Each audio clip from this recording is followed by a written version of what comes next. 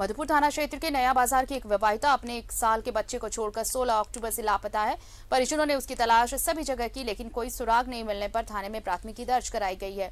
पति ने बताया कि तीन साल पहले लोगों उन लोगों ने अंतर्जातीय प्रेम विवाह किया था। मामूली विवाद हुआ था और उसके बाद वो घर छोड़कर चली गई है।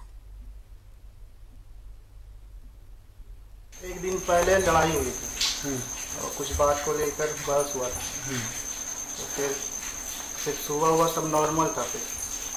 तो फिर शाम को सात बजे के आसपास वो इस रूम में आई और कंप्यूटर चला रही। तो हम लोग देखने के लिए आए तो देखे कि कंप्यूटर चला रही। है तो फिर फिर हम लोग टी वी देखने के लिए चले गए।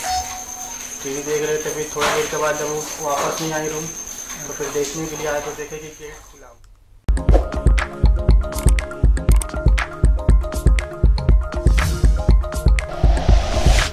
like and share videos, subscribe करें हमारा चैनल और प्रेस करें बेल आइकॉन न्यूज़ 11 भारत सच है तो दिखेगा।